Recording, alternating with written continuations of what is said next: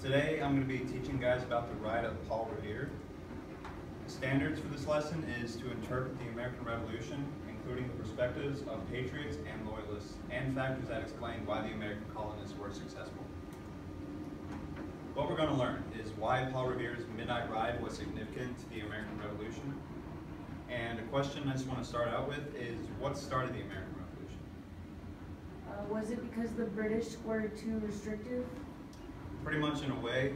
They, the British were passing a lot of acts, or also called laws, that really uh, held down the colonists and what they could do and how much money they could make, since all profits were going to Britain. Uh, in the last class, I taught you guys about the Boston Tea Party. Great Britain was furious for all the lost profits of tea destroyed in the raid. King George III declared that we must master them or leave them to themselves and treat them as aliens. Britain chose to master the colonies, and you would think that leaving them alone would be good, but in a way, the British Empire was in fact an empire, so they had their finger in everyone's pie, so they controlled uh, all the goods that were going around the world. So it would be very hard for the colonists to actually make any kind of money. Anyway, the in 1774, British Parliament passed a series of acts or laws to punish the Massachusetts colony and to serve as a warning to other colonies. The British called these laws the Coercive Acts, but they were so harsh that the colonists called them the Intolerable Acts.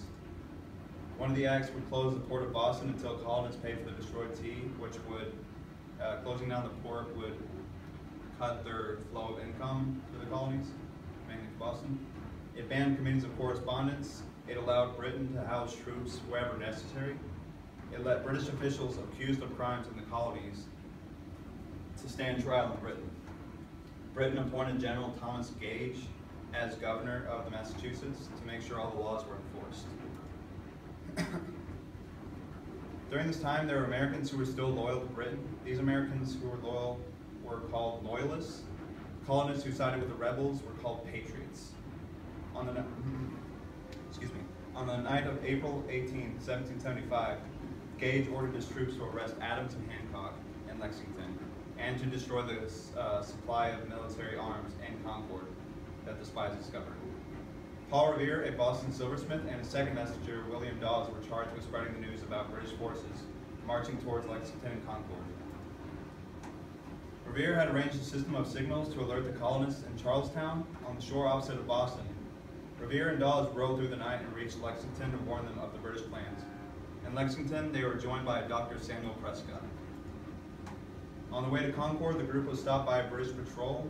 Prescott was able to break away and carry the message to Concord over here. Revere was captured, but Dawes was able to turn back and return to where they started. Lexington Concord at dawn on April 19th, around 700 British troops reached Lexington. They were met by Captain John Parker and about 70 militiamen waiting. The British commander ordered the Americans to drop their muskets, but they refused. It is unclear who fired first, but after the shooting, eight militiamen were killed. The British then march to Concord where they destroyed the military supplies. At a bridge north of town in Concord, a battle broke out, forcing the British to retreat. Nearly 4,000 Minutemen and militia arrived in the area. They lined the road from Lexington and Concord, uh, repeatedly firing at the British troops. The arrival of a thousand more British troops saved the retreating British from being finished off. Lexington and Concord was significant because they were the first battles fought in the American Revolution. And Ralph Waldo Emerson later wrote, colonial troops had fired the shot heard around the world.